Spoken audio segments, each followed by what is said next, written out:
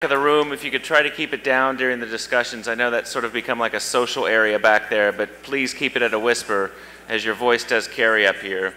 Um, if you've been coming to some of these Hope conferences for a while, you will recognize this hat because uh, Renderman wears it to every conference that he comes to. Um, he's the involuntary leader of the Church of Wi-Fi, which I believe uh, is some kind of tax-deductible uh, haven of some sort. in Canada, correct. Uh, this is How Do I Pwn Thee? Let Me Count the Ways by Renderman.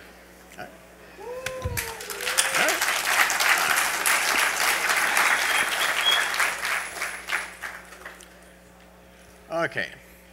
So can everybody hear me okay? All right, I see some thumbs up. Okay. Uh, I am Renderman. Uh, many of you probably know me or I probably owe a drink to, in which case uh, I won't be seeing you later. Um, I will warn you, uh, I don't think my dinner's agreeing with me, but I do have a bucket over here, so if I do and make a quick run, I, it's nothing personal. Um, this talk is where I start getting literary with my titles. It's called How Do I Pwn Thee Let Me Count the Ways. Now it all started out with uh, a conversation I had with a guy named Dino from South Africa at a convention in Toronto called Sector.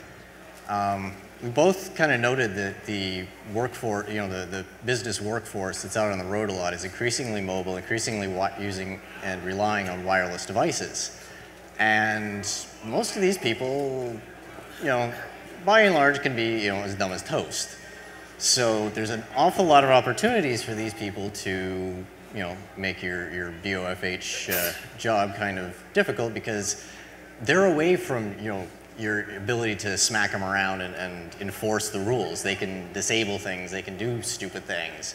And it's actually a, a rather terrifying when you look at it, how easy these people can usurp all of the security measures you put in place.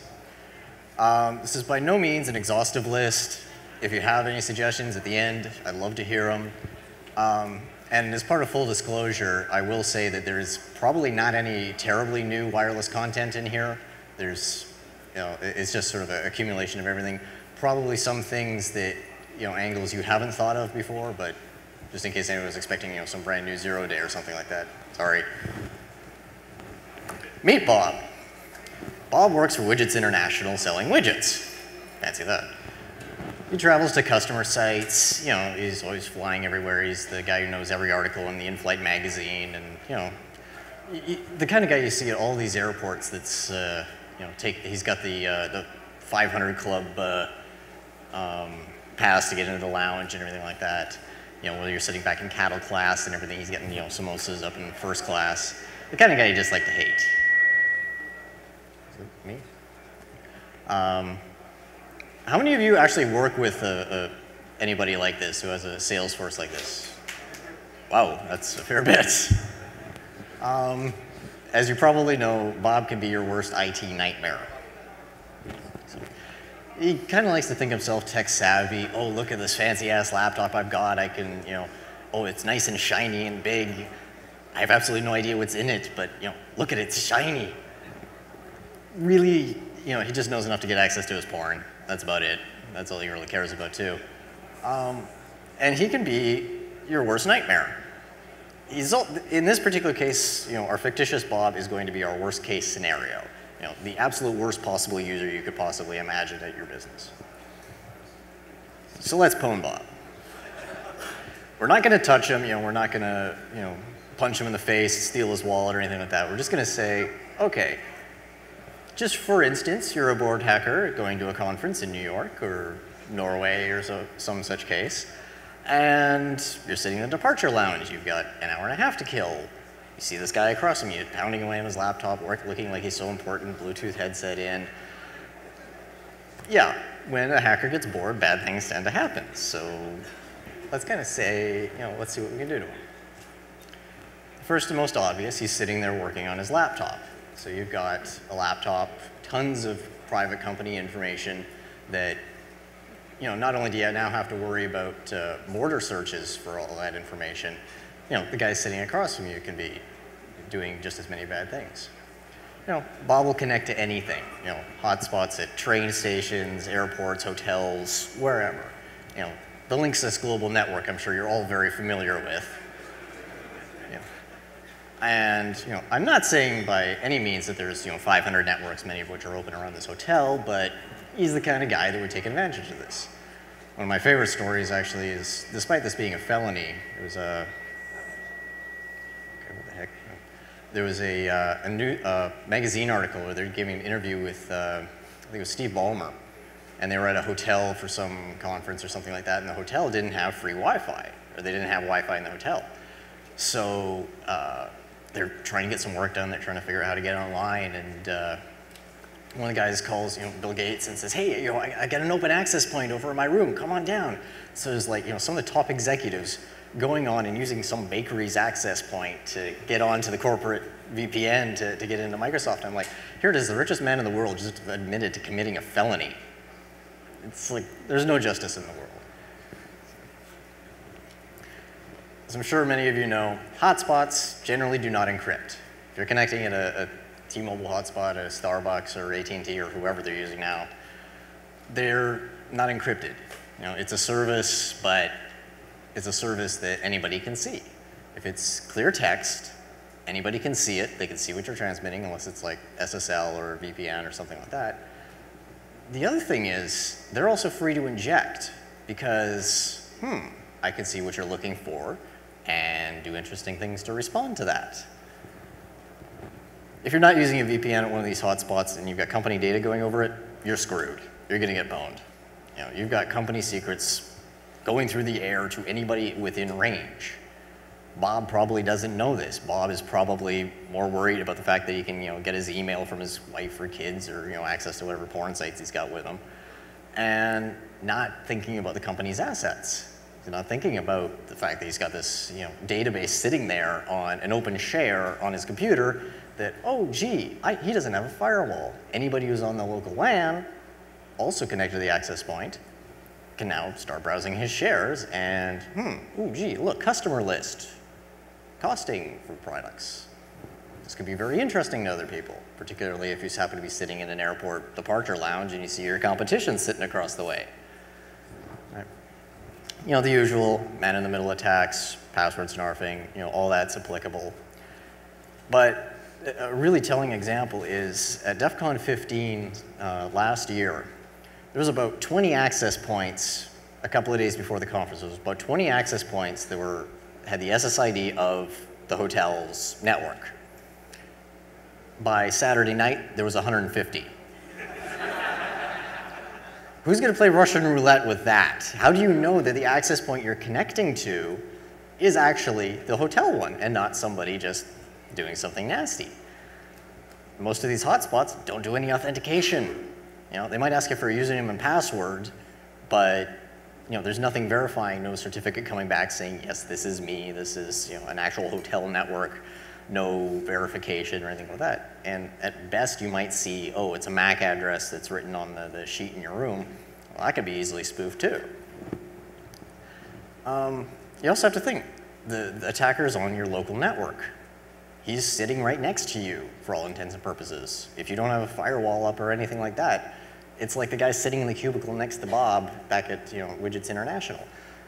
So all the attacks that usually would be mitigated by firewalls suddenly apply. And that's not even to speak of things like the driver vulnerabilities that have come out recently that, you know, who knows what kind of fresh hell could be unleashed with that stuff.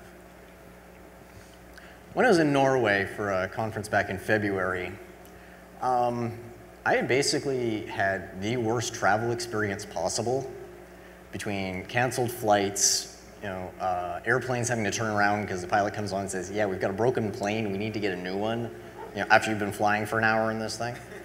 Just wasn't a pleasant experience. Um, so I'd been up for like 36 hours or so before I got to the conference, and with the time zone change, oh, I got there just at the very beginning of the day. So I hung around and you get tired, you get punchy. Let's start doing some experimentation.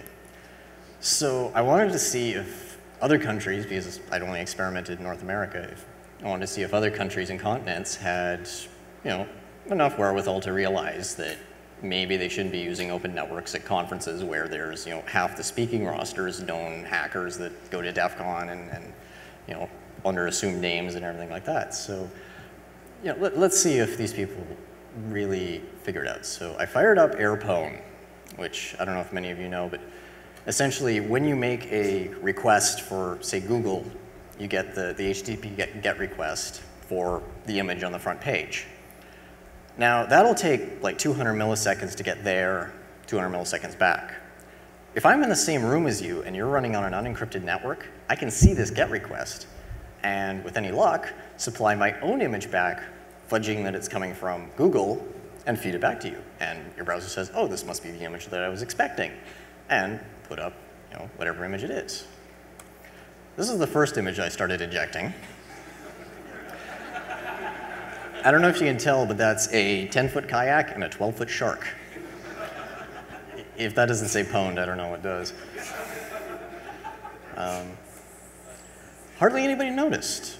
Um, most people didn't actually look at the image. They just saw this blue thing. They didn't really look at it. They didn't spend any time on it. Um, just a lot of like, okay, what's going on? Am I getting corrupted images? What's going on? Now, at this conference, they had three networks running.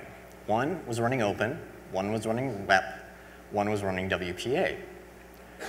Now, I, own, I was monitoring traffic for the two days of the conference. I only saw two logins to the WPA network, and one of those I had verified was actually for maintenance, to go in and double check it was actually running because nobody was connecting. so everybody was using the open network. And okay, after the first day, let's up the ante, let's see what you know, if these people will actually figure out that maybe somebody could possibly be screwing with their network.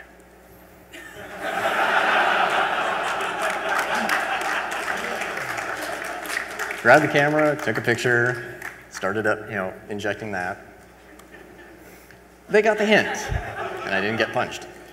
There were some people coming up to me who, you know, they've got their corporate webmail open and they're looking at it like, what are you doing? How, how are you getting into my laptop, what are you doing to me? Like, what did I do to you? And I'm like, come to my talk, I'll explain.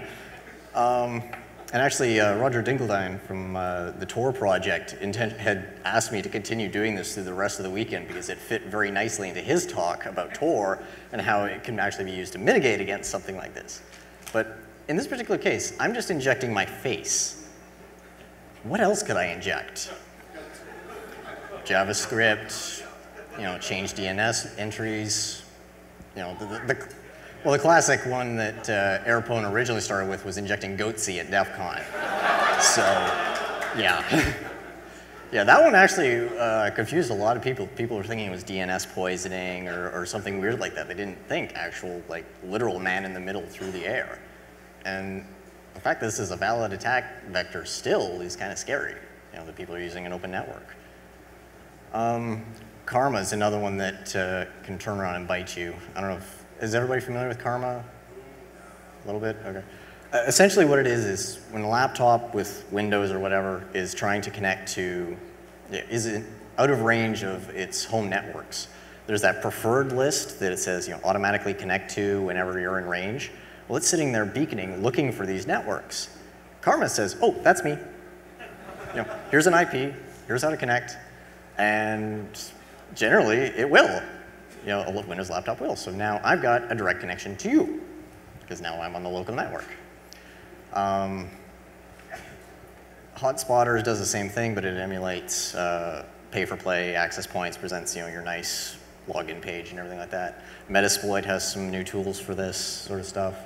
Um, Simple Nomad has a, uh, two, three years ago had a, a talk at ShmooCon, uh, three years ago, had a talk called Hacking the Friendly Skies, where he pointed out, hmm, you're at 30,000 feet inside a big metal tube away from any other sources of interference. Yes, the stewardesses tell you to turn off your wireless, but you know, that idiot in first class that's, you know, Bob sitting there typing away at a letter or something like that, doesn't necessarily listen to that or necessarily know how to turn off the wireless. So he's sitting up there broadcasting, looking for networks. There's no way in hell he's gonna find them at 30,000 feet except for the guy back in economy who fires up Karma or something like that and connects up to the guy in first class. Oh, now he's you know browsing his shares. Oh, you know this guy works for this company. You know, oh here's a, a customer database. Oh, here's a, a, memo that went around or something like that. And I don't know if any of you guys seen Simple Nomad, but he's not the kind of guy that you would expect to wear a suit all the time, you know, big long beard and everything. Um, great guy, but just not, you know, not, you know, one of Bob's usual uh, kind of people he deals with. So uh, Simple has some great stories about going up into the, the guy in first class, seeing the, the laptop open. Hey, Bob, how's it going? You know, how's the kids? You know, oh, did you get that memo about that thing? And, and and this guy's looking and he's like, who are you? How do you know all this? I'm just scaring the living crap out of this guy. And you got to think about it that even at 30,000 feet, where theoretically nobody's supposed to be broadcasting wireless, somebody probably is and could be exploited. One of the best stories I ever heard was uh, from a friend of mine that does pen testing for a living. And he was talking about that they were flying out to a customer site to do an audit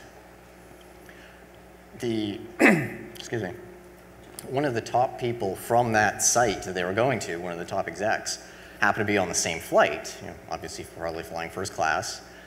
Um, they connected to his laptop in the middle of the flight and literally pre-hacked him so that when he logged into the corporate network, he created a backdoor for them. So before they even landed, they had compromised the site. You know, it, it's absolutely terrifying to think that this is possible. There's a cafe latte exploit, which even if you're not connected to the corporate network, could divulge a WEP key if for some stupid reason you're still running WEP on the corporate network. So if I know that Bob works for Widgets International and that I live in the same town as their, their headquarters and I want to do something bad to them, I target Bob, get the key, and you know, then log into the corporate network. Simple as that. You know, there's the usual deauthentication head, deauthentication headaches um, that can ensue. Um, you know, some guy just fires up Void 11 or MDK or something like that and just starts deauthing everything. Kind of, a, that's more of an annoyance situation than anything, but prevents this guy's ability to work. Generally, if your wireless is on, you're pwnable in one way or another. Through driver exploit, active exploits, something. Um, particularly on the road when you're not at a corporate network that can't you know, you can't do WPA2 radius over a, a hotspot at uh, Starbucks. You could VPN in, but who knows what else could be done. Disable your Wi-Fi when not in use. Simple thing. You know, you got guys going out there, well, turn it off on the airplane because I don't want to be on the same plane as you and crash. Um, use a VPN for everything. Assume you're being attacked. Um, there's, so, there's a bunch of different products out there that'll give you indications that, wait, something's hinky here, the, the access point just changed channel, or you know, the, the MAC address just changed, or something weird like that. You know, good products to investigate, to put on Bob's laptop so it puts up a big sign saying, hey, you're under attack, stop doing anything confidential. Don't trust customer networks either. I've actually heard of a couple of stories where uh, they were, uh, customers were uh, sales guys were going out to customer networks or customer sites and say, oh, I need to get some information from the, uh, the corporate network and then you know, logging in, going back to the corporate and, and bringing something down. Well, they're sitting there connected to the customer's network and the customer would be really interested to know exactly how much margin is on all these widgets. So if they were you know, bidding a contract or something like that, they could see how much they could shave off and just you know, those sorts of games. Um, if you've got like an open share or something like that sitting on the, uh, on the laptop when he plugs it in, hey, you know, Joe IT guy could be interested to say, hey, new host on the network. Ooh, what's the, ooh, this is interesting. Oh, there's a lot more money in this contract than we were bidding for. Hey, we'll just, you know, add a, another zero to the contract. Um, turn on firewalls, be cautious. Tor is a really useful tool to have handy for this because if you catch yourself having to use a, a hotspot outside of the office or something like that, what Tor does is it encrypts from your laptop over the wireless connection to a Tor endpoint, and then you know, well, your, your connection will pop out in like Hungary or Germany or someplace like that, and then go for the, uh, the actual content and come back through the same way. Yes?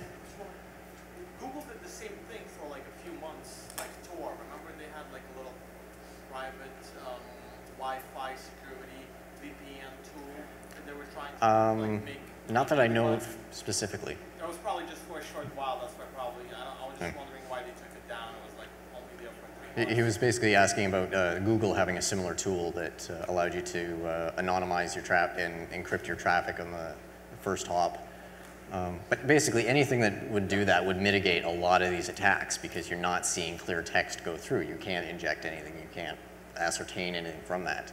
Yes, there's still vulnerabilities with Tor that you know you have to trust who your endpoint is that's coming out because somebody could be sniffing that. But really, you're not protecting the actual content going through, just only on that link between you and the access point in the Starbucks. Let's go after his phone. How many of you guys have, and ladies, how many of you have sales guys that seem like they've got their phone permanently welded to the side of their head and you really, really hope these things actually give brain cancer? Okay, fair number. How many of you have the sales guys with the Bluetooth headset permanently welded to their head? How many of you hate those things as much as I do? A lot of hands, okay. Um, Bob loves it. You know, he's got his headsets, he's got his phone.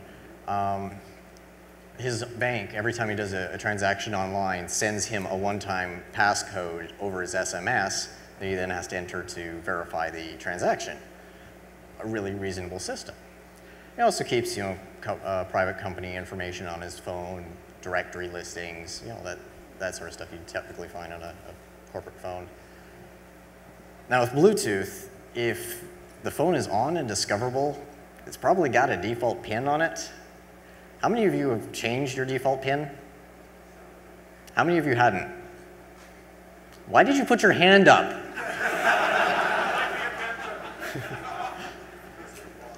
Basically, in a lot of cases, paired devices can get full access to the other device. So if I pair my phone with yours, my phone inexplicably has full access to your phone, not just you know, for OBEX exchange of business cards and things like that. It's the whole shebang. Why I need that much access, I don't know. So if I can convince you to pair with my phone for whatever reason, I can make your phone do some interesting things. Read write to the uh, SMS messages, you know, insert some nasty things about Bob's wife in the phone, you know, in his messages or something. Um, pull out those one-time uh, PIN numbers. You know, if you see them online doing his, transaction, you might be able to snag something before. I've talked with a couple of people who've audited systems like this, and they had to basically uh, sneak a sniffer into the office and wait for the executive whose normal thing was to check his stocks and check his bank accounts at, before the end of day to get the code and, and prove to him that, hey, you know, there's a portion in this loop that is vulnerable that I can get in, get this passcode, get to the website and do something before you do. How are we doing on time? Oh, good. Um, some models of phone, if you connect on, I think it's RFCOMM 17, channel 17, you actually get a uh, uh, an AT command prompt, like the old uh, modem AT commands. You can issue commands directly to the phone. This gets interesting when you start applying it to things like premium rate calls, you know, 1-900 numbers and stuff like that, because Bob now has to explain the nine-hour phone call to Madame Lipsalot Fun-Time Party line on the company dime. So a little video here that uh, explains this. Hopefully we've got audio on the laptop here. Ah, get back there. Why are you not playing? There, there we go. Sources have reported that Britain is in the grip of a high-tech crime wave, and one of the latest targets is one of our closest friends, the mobile phone. It's sensational, but it gets the point across. Experts have discovered a security flaw in some of the most popular Bluetooth-enabled phones that allows others to hack into your handset and take control of it. Our hustlers are going to demonstrate for our hidden cameras just how vulnerable your phone can be to a silent attack. This is the Bluetooth scam. The problem with some Bluetooth phones is you can make an unauthorized connection to the phone and effectively take over the phone, uh, read the contents out, so the phone book, SMS messages, even actually make calls with it. So, how does the Bluetooth hack work? Our hustlers are going to demonstrate it here. Jess and Paul's phones have their Bluetooth turned on. Alex uses his mobile pocket PC. Because of a security flaw in Jess's phone, he is able to locate the Bluetooth signal, hack directly into the handset, and take control of it. Now he can make a call from Jess's phone to Paul's phone. This technique is known as bluejacking. The Bluetooth Hustle uh, works by using the Bluetooth feature on mobile phones. It's a very modern, very useful, very easy piece of technology. They can connect to your phone without you knowing it. Your phone will not even show that it's connected to something. They're now ready to test it on the public. Alex has set his pocket computer to search for Bluetooth signals. Now he's pinpointed a mark with an enabled handset. He can go for the hack. Now he's in and making a call using the mark's phone. But where's the actual scam here? It's in the number that Alex is calling from the mark's phone. Our hustlers have set up their own premium rate line where calls are charged at £1.50 a minute. So this guy is having the money taken from his pocket but he's totally oblivious. And if the mark doesn't realise his phone is calling the hustler's premium line, during his journey between Manchester and Liverpool, he will lose £75 in call charges. Ouch. So, if Alex spends some time here, he can really take home the bacon. In an hour, he manages to target 20 phones with an average call time of 15 minutes, making him a grand total of £500. Our hustlers have proved for those with the technology and the know-how, this is a really money-spinning scam. The simplest and best way to protect yourself against this scam is just simply to keep your Bluetooth turned off unless you're actually using it. If you do not switch off the Bluetooth feature on your phone when you're not using it, you're in danger of somebody finding a way in. So as you can tell, that's from uh, Britain, but uh, and Bluetooth over there is just so much more popular. It's, it's absolutely crazy. But uh, it gets the point across that if you set up a phone number on, you know, some name that nobody's ever going to want to contest because it's so embarrassing, they're just going to pay it. You can probably make a fair bit of money, and that's kind of a terrifying thing. It's that easy. And besides, who's going to be able to prove that you know, it wasn't Bob that actually made that phone call, that it was somebody else controlling Bob's phone. Makes you think. More Bluetooth threats centered around the headsets.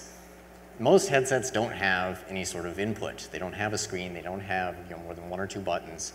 So the only PIN number that is necessary to connect is built in, and it's you know, 0000 or 1234. There's no way to change that. So you can use certain attacks like Blue Bump, which would disconnect the, the headset from the phone. It automatically would go back into discoverable mode. You could then connect to the headset and turn around and start listening to Bob's conversations. Or if you want to get really mean, you can start injecting audio. This also applies to uh, built-in car headsets where it uses the, the stereo system to uh, to do Bluetooth. So you can imagine if you were following along behind Bob and his CTO and they're having a, a conversation, you know, you could literally have a bug in that car by connecting to the, uh, the Bluetooth headset built in and listen back in the car, you know, three car links back. Now, you can all, I, have seen this a number of times where somebody will go into a board meeting or something, take out their phone, turn it off out of courtesy, but they won't turn off the headset. They'll take it off, put it in a pocket, or just leave it on and look really silly with this blinking blue light that just distracts everybody. So, but think about it. If, if this thing has gone back to discoverable mode, it's a little bug. It's a bug in the boardroom broadcasting everything that's said. And I know that there's some uh, military specifications that say that if you're in a, a, classified meeting or something like that, you have to take your phone out, take the battery out, and put it in front of you. I cannot find, correct me if I'm wrong, but I cannot find any regulations that talk about the headsets because a lot of the headsets, you can't take the battery out.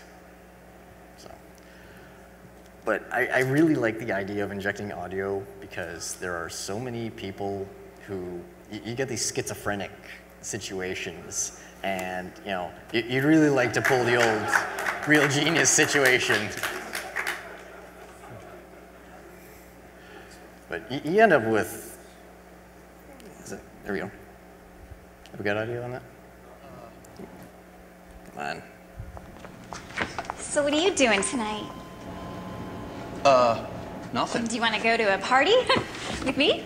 Yeah. We could just go to my place before and hang out. Yeah, that sounds awesome. Uh, hold on. Oh, uh, I thought you were talking. You can't always be smooth, but your beer should be. With a specially lined can to seal in the taste, Keystone Light is always smooth, even when you're not. I'm really sorry about what just happened. No, Oh, that's cool. I feel embarrassed. just a second. Oh, man. I hate headsets, and like I have one for when I'm driving, but you know, you put it on, you make your call, you take it off. It's when you're standing in Dunkin' Donuts or something like that, and there's that little blue light flashing in you. It's like, how special are you that you have to get that phone call in the next five seconds? It's like, just take the things off, please, or else. I, I have this dream of being able to do this en masse. I would absolutely love to, to find like a, a room full of bankers or something like that at some big meeting. You know, disconnect all their phones, connect up to all their headsets at once, and go. I know where you hid the money. I just see who runs. Yeah, put that in there and just rattle their cage a bit. This is a new addition. While rummaging through Bob's phone and in his SMSs, we find some certain messages that uh, get our interest. And these, number, these messages have a five-digit number prefix. And judging by the content within the message, you could probably figure out what the device is. There are some things that should just not be wirelessly enabled. The, by default, according to the manufacturer, these devices are not discoverable, but who thought this was a good idea? Have you figured it out yet?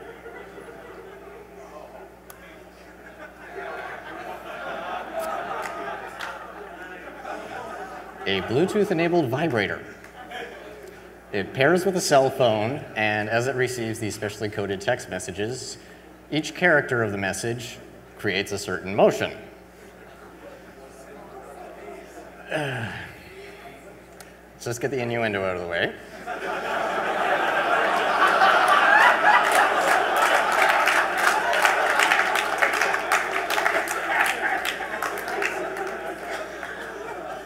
All good? Any suggestions? Okay. Basically, teledildonics, which is the study of like long distance sex, seriously, they have not looked at security in a lot of cases. It's kind of terrifying. This is kind of an extreme example of a, a bad idea.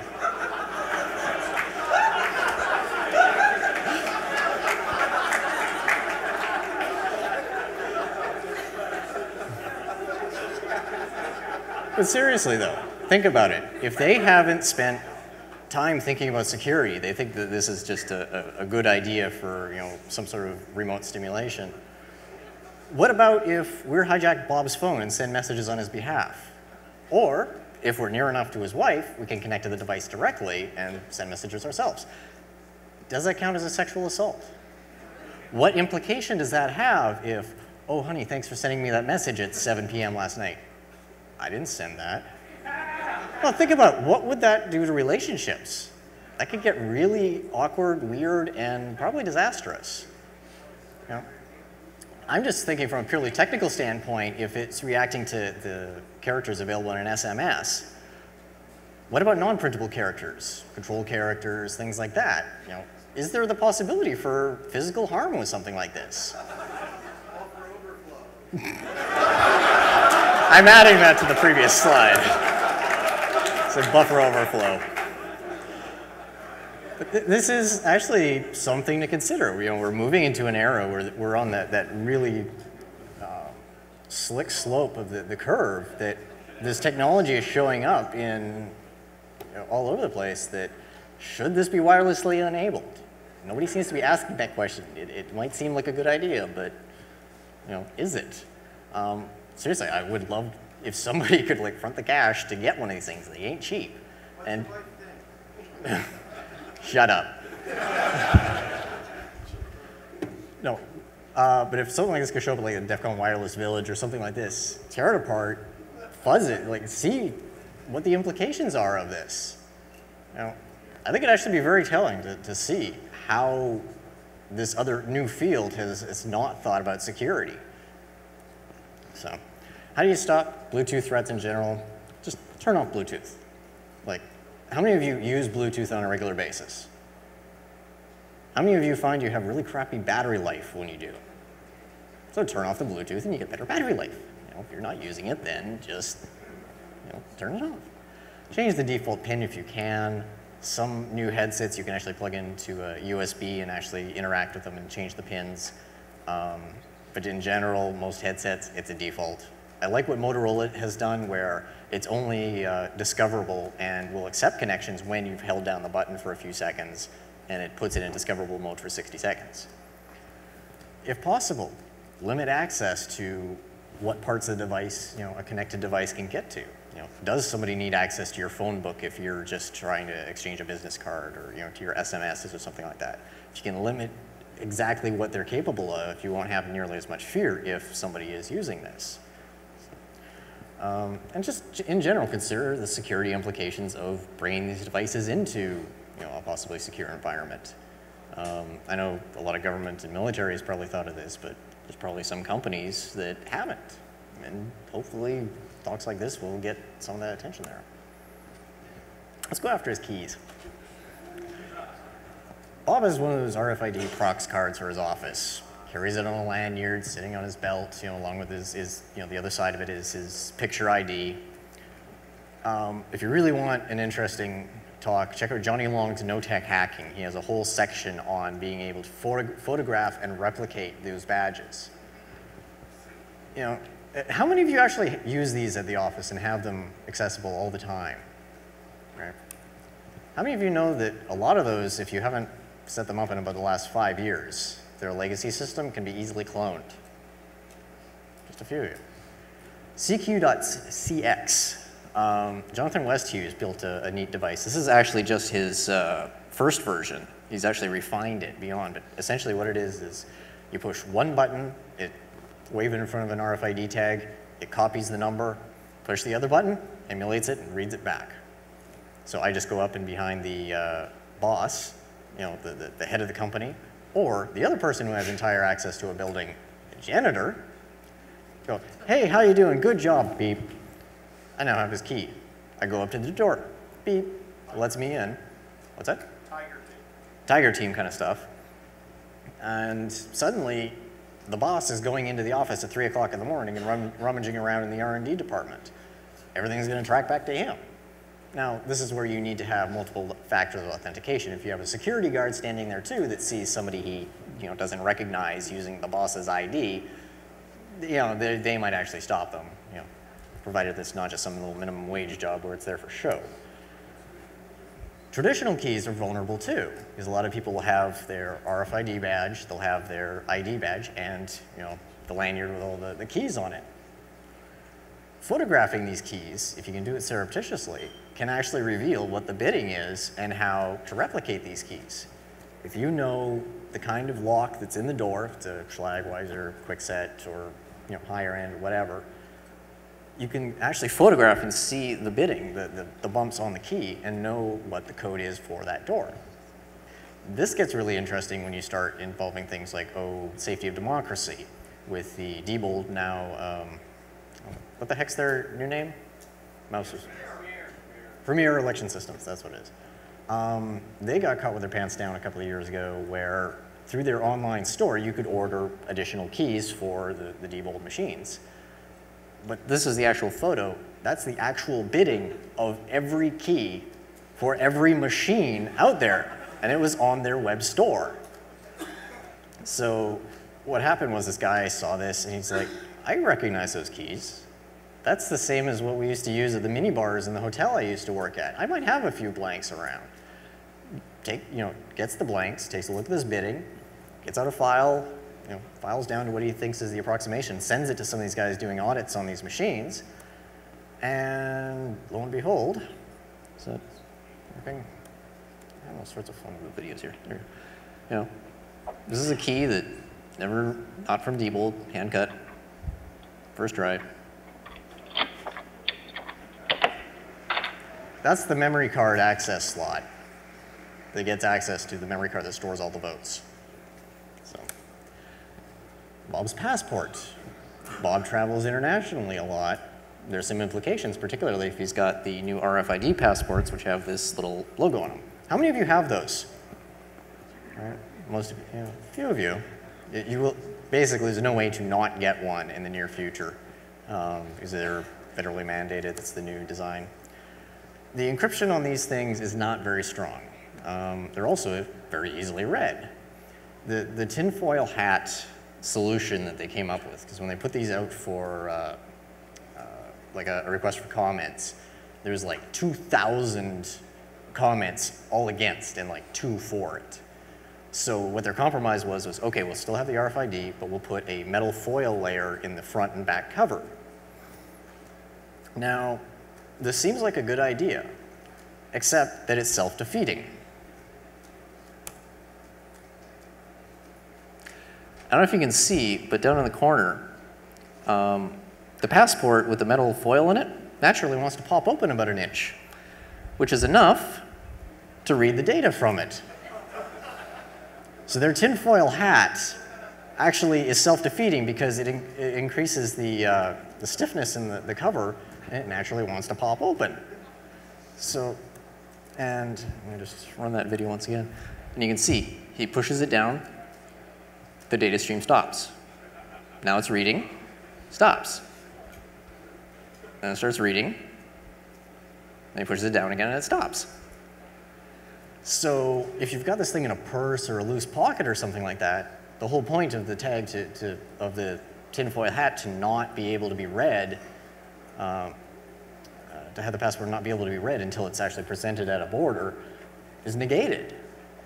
Um, there's all sorts of implications and, and conspiracy theories about the RFID and the passports. You have to admit, there's a very short range on these things. So it's not like somebody's gonna be reading, you know, across this room sort of thing. It have to be right next to you. The encryption could be better. They say it's a, a fairly long key, except that they're using factors like the passport number, which are sequential, birth dates, which there's a very limited key space, and other bits of information that you can really narrow down the available amount of key space on these things. The other thing that is of interest, I've actually talked to the number two man in charge of passports uh, with the US State Department. There is actually no rule that says if your RFID enabled passport's RFID chip doesn't work, that they have to refuse you access to the border. You'll get increased scrutiny, but it is still a valid legal document for it's, was it 10 years down here? Canada is five. Um, for 10 years, that, that passport is still good, even if the RFID doesn't work. So liberal application of a hammer you know, can negate a lot of the, uh, the possible issues with this. I fell really hard. yeah. Um, the other thing is that the, the, other conspiracy theory is that you know, uh, oh, they'll be able to pick Americans out of a crowd for you know, uh, suicide bombings and stuff like this. And if anybody's ever traveled internationally to odd corners of the world, you'll generally find that most Westerners tend to stick out like a sore thumb. So I don't need to see your passport to know that yeah, you're probably not from around here. So. Bob has other duties, like probably a lot of other salesmen. He works trade shows. Bob's sales dep uh, depend on demos being available, working properly, showing that, you know, how wonderful they are. What happens if you have widgets that are, you know, wirelessly controlled with unauthenticated, unencrypted commands? Don't try this at home because these guys actually got banned. Motorola's focus is about making sure that we deliver devices for the consumer. Try that again. Motorola's focus is about Motorola's focus is about making sure that we deliver devices for the consumer. And you can just wait a moment because I think some of the screens have just gone down.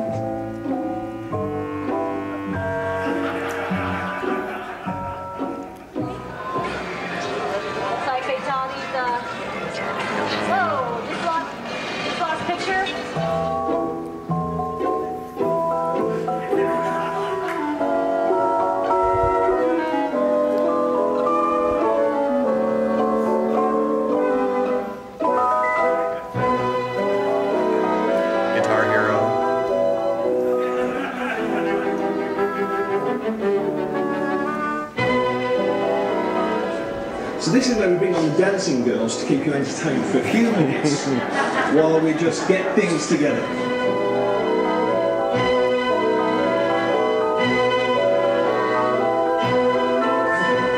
I think we're going to ignore this screen and we're going to get going on the rest. So I do apologise for the technical hitch. Let's take a look at what he got up to on his trip to Vegas. Hey, Jeremy. Thanks for the camera phone. Thanks for the credit card. I'm going to do my best to spend your money wisely and show off what your phone can do for your conference in Vegas. Mid-air, two to zero. Uh, just lost picture one more time.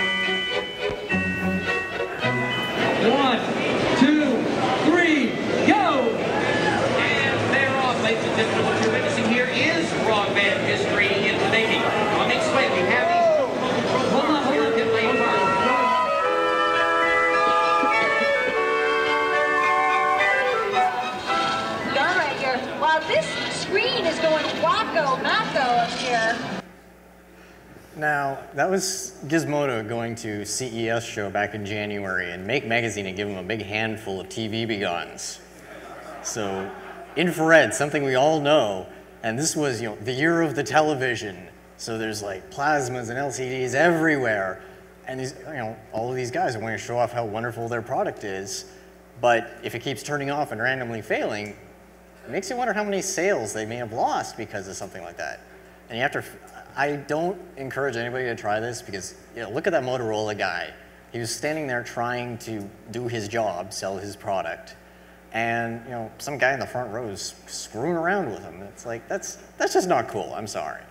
I mean, the, the big wall of TVs, okay, that's one thing, but if you're actually causing somebody grief and, you know, possible lost sales and stuff like that, that that's just not kosher with me, I'm sorry. Now, if you're also at a trade show, typically these guys will have laptops with them for demos, etc.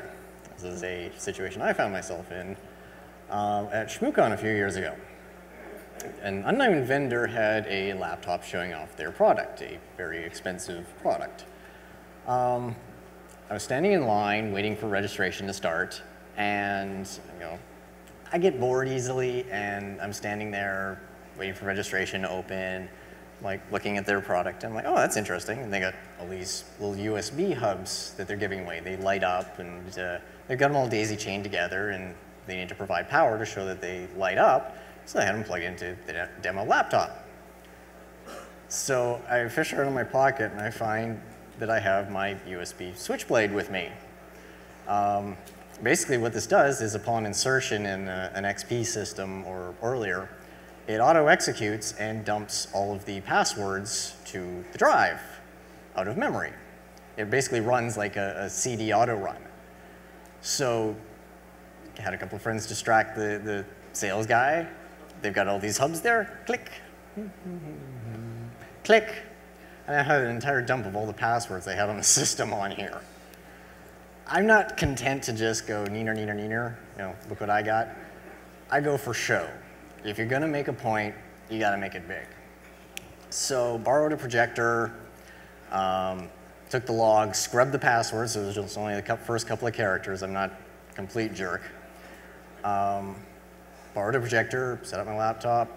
Um, the booth next to them was uh, this guy down here, actually. We spun around one of their signs and used it as a screen and proceeded to project the passwords on the screen right beside the uh, booth of the unnamed company. And then I stood up on a chair and basically made the pronouncement that, ladies and gentlemen, remember that you are at a security conference and you have to secure your ports. Not just your network ports, but your USB ports. And proceeded to explain what I had done.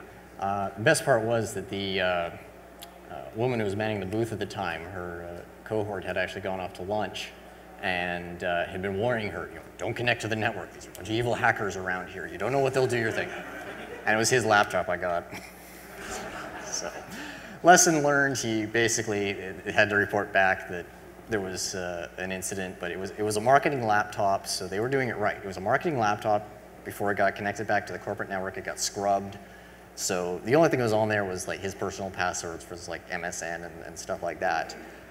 But you have to think that a lot of these passwords were identical for various uses. One of these could theoretically also cover corporate assets too. So even though it never actually touched the, the corporate network, there's you know some conjecture you could make out of that.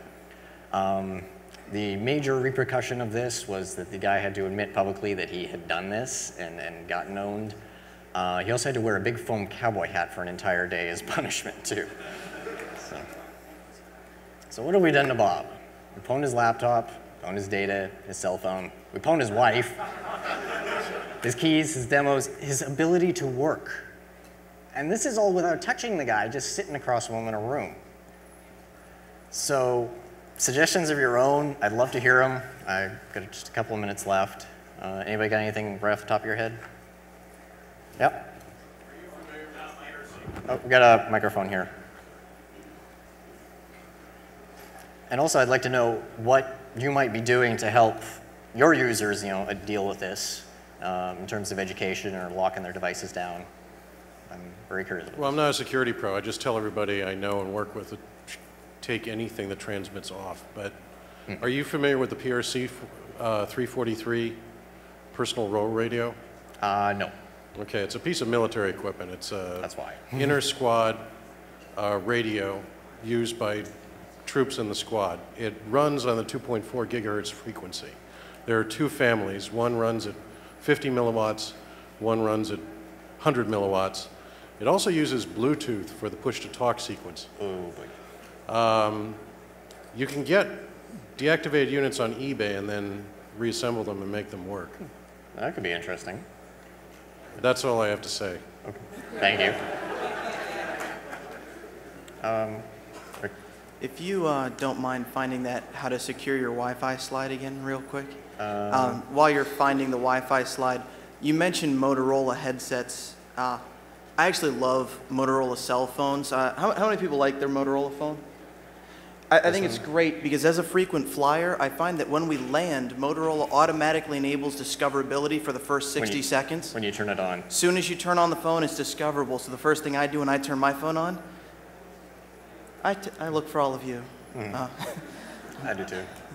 the the stopping Wi-Fi threats. There you go. There you go. Um, I, I love Tor. I thanked one of their developers earlier today in his talk, but that doesn't stop you putting your pretty face on all of the emails because that stuff's incoming. You can still you can still attack the laptop. You just can't man in the middle of the data. Yeah. And um, It's better than nothing. it's, it is better than And nothing. free. You also mentioned the firewall several times. Uh, th- there's a really great misnomer about firewalls. Everybody thinks, oh, I have a firewall, I'm safe. When you connect to the corporate network, you can still use file and print sharing. Y- your files are still accessible because it's on the local area network. Unless your firewall is configured to block people on the local area network, you're, you're out there. You have no firewall. So just those of you that think your local area network is safe, I hope your Wi-Fi is turned off. I just want to say a few things uh, before I get punted here. Uh, huge thanks to Rob T. Firefly, wherever he is. He did the artwork for Bob. Uh, I have no artistic skills, so thank you very much. Uh, and also, I am trying to finance this trip, so I have uh, sets of WPA cracking tables with me, the 33 gig sets, nine DVDs, 50 bucks. I have them with me. Um, I'm trying to basically pay for my way home, so uh, I'll have them with me all weekend. If you can help me out. Uh, um, did you have a suggestion there? I was just wondering if you uh, there have been any uh, real world cases of people uh, attacking smartphones, 3G, edge network, that type of thing. Um, no, not that I'm aware, like through the Bluetooth and that, but usually not through like the, the 3G connection or anything like that. Um, Blackberries though, if somebody could find a way to take the network down on command, you know those simpering piles of goo that people become when they can't get their BlackBerry emails? you know, it, to be able to create that on command, I think would be a truly evil thing.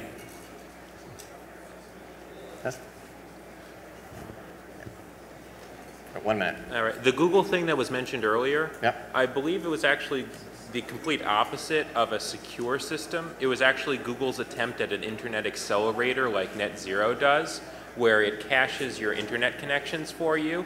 But this led to a lot of websites, people being logged into each other's sessions. Ah, sessions. okay. What I've seen looking around here is a lot of people on their Gmail accounts.